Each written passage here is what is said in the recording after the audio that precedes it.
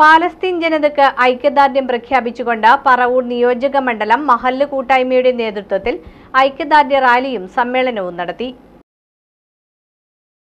Palestine ജനതയ്ക്ക് അഭിവാദ്യം അർപ്പിച്ച് പറവൂർ നിയോജക മണ്ഡലം മഹല്ല് കൂട്ടായ്മയുടെ നേതൃത്വത്തിൽ ഐക്യദാർഢ്യ റാലിയും സമ്മേളനവും നടത്തി. വെടിമറയിൽ നിന്നും ആരംഭിച്ച റാലി മുനിസിപ്പൽ കവല ചുറ്റി പഴയ K S R T C സ്റ്റാൻഡിൽ സമാപിച്ചു. തുടർന്ന് നടന്ന സമ്മേളനം ടൗൺ അൽഷറഫ് ജുമാ മസ്ജിദ് ഇമാം എസ് എം സൈനുദ്ദീൻ ഉദ്ഘാടനം ചെയ്തു.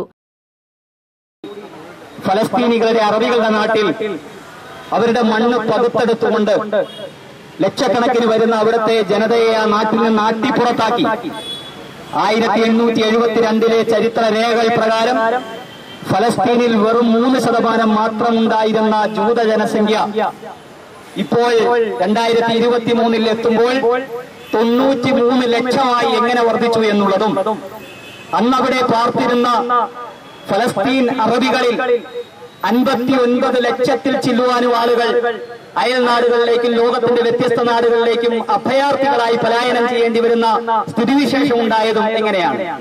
അതിനുശേഷം ഫലസ്തീനിൽ നിരവധി മനുഷ്യർ ആയിരക്കണക്കിന് ലക്ഷക്കണക്കിന് മനുഷ്യർ കൂട്ടക്കുരുതിക്ക് വിധേയമാക്കി. ഈ കൂട്ടക്കുരുതിക്കെല്ലാം നേതൃത്വം നൽകിയ ഇസ്രയേലിന് എല്ലാ അർത്ഥത്തിലുമുള്ള പിന്തുണ നൽകിയത് ലോകത്തവൻ ശക്തികളാണ്. മഹല്ല് കൂട്ടായ്മ ജില്ലാ വൈസ് ചെയർമാൻ ഷാജഹാൻ ഹാജി അധ്യക്ഷനായിരുന്നു. മണ്ഡലം general convener K B Kasim സ്വാഗതം ആശംസിച്ചു. മാഞ്ഞാലി മഹല്ല് ഇമാം ഷമീർ ഹസനി പ്രാർത്ഥന നടത്തി. V M Sulaiman Maulavi P M Basheer Shareef Puthanpura Anwar Firoz Abdul Salam Vadakkumpuram Mahboob Thathappally Manappadath Jabbar A B Abdul Khader A A Alikunju K K Shamsudheen തുടങ്ങിയവർ റാലിക്ക് നേതൃത്വം നൽകി.